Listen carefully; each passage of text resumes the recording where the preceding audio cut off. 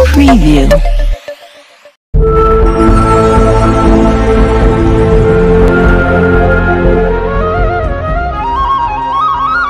कांग्रेस के वरिष्ठ नेता और गुजरात के राज्यसभा सांसद और कांग्रेस पार्टी के कोषाध्यक्ष रहे अहमद पटेल का निधन हो गया है। इकहत्तर साल की उम्र में अंतिम सांस ली। अहमद पटेल एक महीना पहले कोरोना से संक्रमित हुए थे। इसके बाद उनका इलाज चल रहा था। अहमद पटेल के बेटे फैजल पटेल ने ट्वीट कर कहा कि उनके पिता अहमद पटेल का आज सुबह करीब तीन बजकर तीस मिनट पर निधन हो गया अहमद पटेल का गुरुग्राम के मेदांता अस्पताल में इलाज चल रहा था।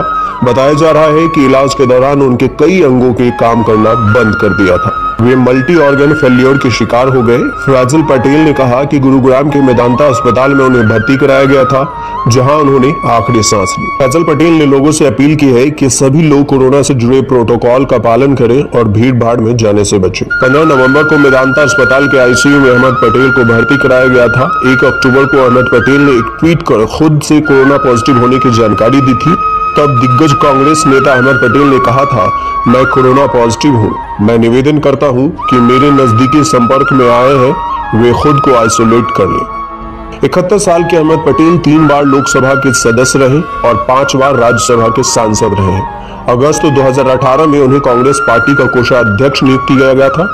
पहली बार 1977 में 26 साल की उम्र में भरूच से लोकसभा का चुनाव जीतकर अहमद पटेल संसद पहुँचे थे। हमेशा पर्दे के पीछे से राजनीति करने वाले अहमद पटेल कांग्रेस परिवार के विश्वस्त नेताओं में गिने जाते थे।